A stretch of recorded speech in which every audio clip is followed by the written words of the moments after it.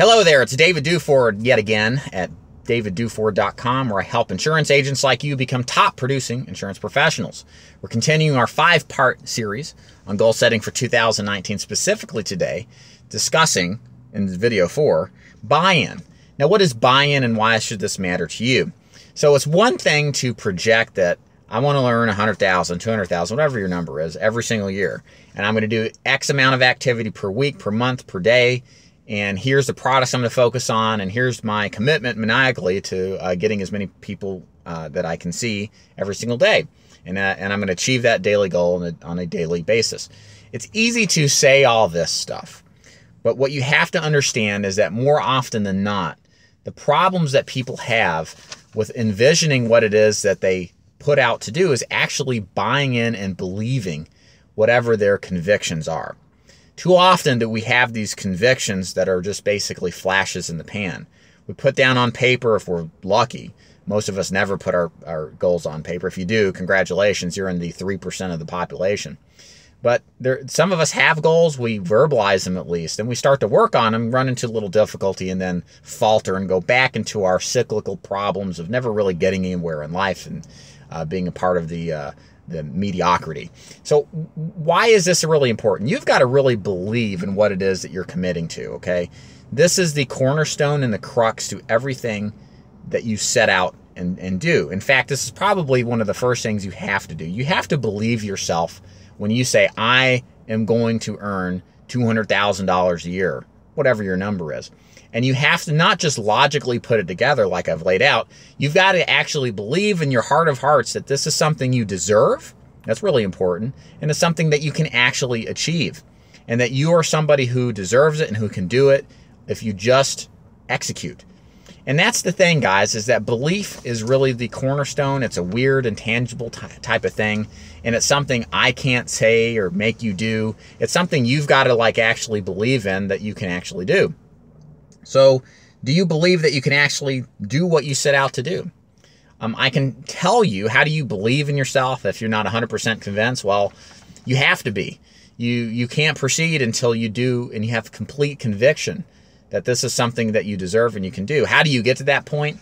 I mean, it's difficult, man. I mean, it's, it's, it's hard. I mean, I can tell you that for me, my conviction has always been I have always seen myself being able to accomplish something great.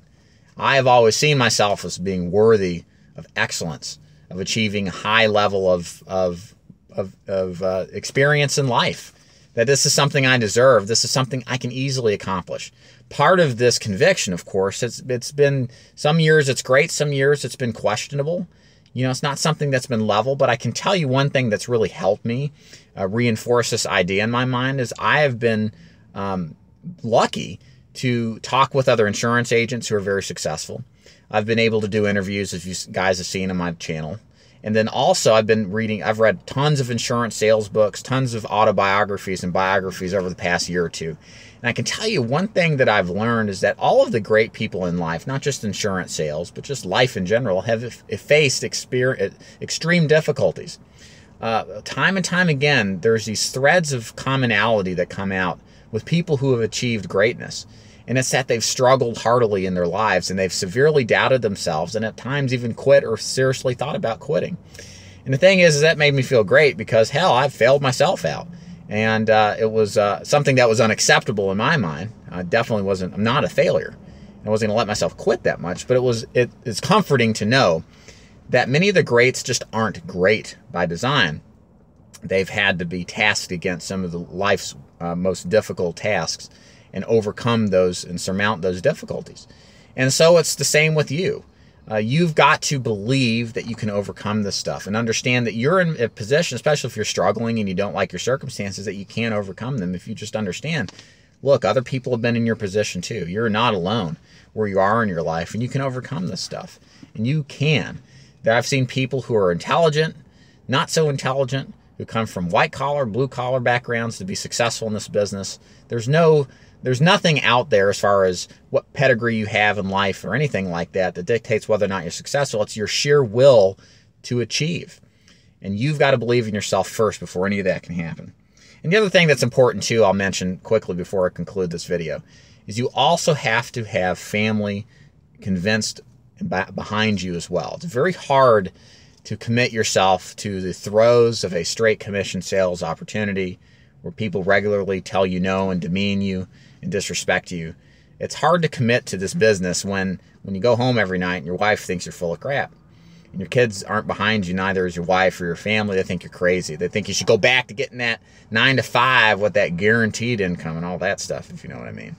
And it's very difficult. So my recommendation to you is buy, get them to buy in. There's very few of us that have the mental and emotional fortitude to just say, well, screw you and what you think. I'm going to do what I want. Uh, it's very difficult. Uh, it's better to get them to buy into it and help keep you accountable. As I can tell you, uh, having some level of accountability, especially people you love, that love you unconditionally, that will trust you to achieve things and put a lot on you, will help you move yourself out of your discomfort zone Eh, or your comfort zone into a level of discomfort. So that's when you grow and that's when you help get those accomplish those goals that you are out to achieve. My name is David Duford at davidduford.com. If you'd like to learn more about my mentorship program and how I help agents sell, whether experienced or new, eh, final expense, mortgage protection, Medicare supplements, and annuity sales, go to again, davidduford.com. Click the link at the top that says Join David's Agency. Please like, share, subscribe, and comment below if you have anything you'd like to say. And again, thank you for watching. We'll see you next time. Bye, guys.